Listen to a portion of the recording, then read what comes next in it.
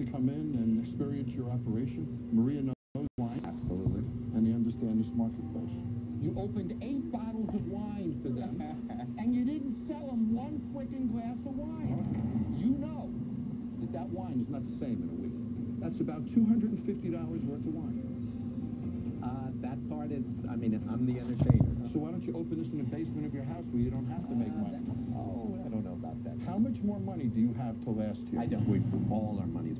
been invested. When somebody is losing money and their wife's future is on the line, they figure out why they're losing money. But not you.